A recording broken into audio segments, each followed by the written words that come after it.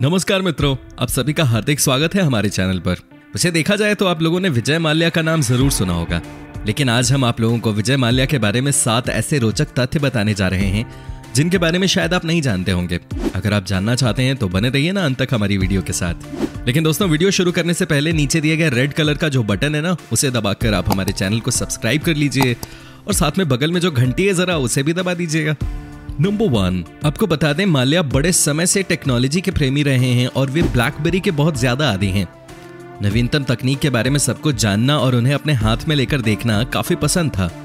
वे अपने घर से निकलने से पहले अपना ब्लैकबेरी फ़ोन अवश्य लेकर निकलते थे, चाहे फिर उन्हें आधे रास्ते से ही वापस क्यों ना आना पड़े। नंबर टू आपको शायद मालूम नहीं होगा कि माल्या एक प्रतिभाशाली व्यक्तित्व के इंसान हैं। माल्या एक साथ धारा प्रवाह, बंगाली, कन्नड़, हिंदी, कोंकणी, गुजराती, अंग्रेज़ी और फ्रेंच में बात कर सकते हैं। और एक और आश्चर्यजनक पहलू हम आपको बताना चाहते हैं कि वो कर्नाटक के मूल निवासी हैं, लेकिन उन्होंने कोलकाता में अपना प्रारंभिक जीवन व्यतीत किया। नंबर थ्री, क्या आप जानते हैं, आपने माल्या को हमेशा लड़कियों के बीच घिरे रहते हुए देखा होगा? लेकिन आपको पता है कि माल्या जितनी लड़कियों के साथ रहते हैं, उससे कहीं ज़्यादा धार्मिक प्रवृत्ति के भी हैं। वे किसी भी कार्य के लिए शुभ अवसर पर विश्वास रखते हैं।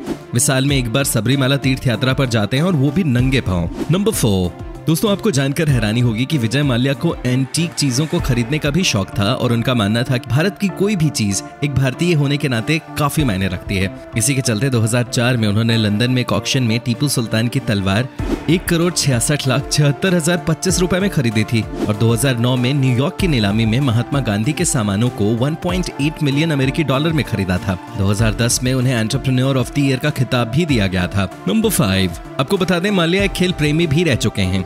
उन्होंने IPL team Royal Challengers Bengaluru को खरीदा और उसके खिलाड़ियों के ऐशो आराम से पता लगाया जा सकता है कि वे खेल से कितना प्रेम करते हैं।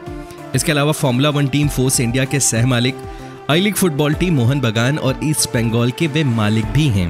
नंबर सिक्स आज से पहले आपको किसी ने नहीं बताया होगा कि माल्या हमेशा स्कूल और कॉलेज के दिनों से मेघावी छात्र रहे हैं। उन्होंने कोलकाता के सेंट जेवियर्स कॉलेज में अध्ययन किया। हालाँकि वो अपने पिता विट्टल माल्या की कंपनी में इंटर्नशिप के लिए जाया करते थे और कार्यालय के लिए जाने के लिए साइकिल का इस्तेमाल किया करते थे। नंबर सेवन, क्या आपको मालूम है कि सन उन्नीस सौ छियासी में उन्होंने एयर होस्टेस समीरा तायबजी से शादी की? सिद्धार्थ माल्या समीरा के बेटे हैं। विजय और समीरा में जल्दी ही तलाक हो गया। उसके बाद माल्या ने पड़ोस में रहने वाली रेखा से शादी की, जो तलाकशुदा और दो बच्चों की माँ थी। और आपको बता दें, माल्या और रेखा की दो बेटियाँ हैं।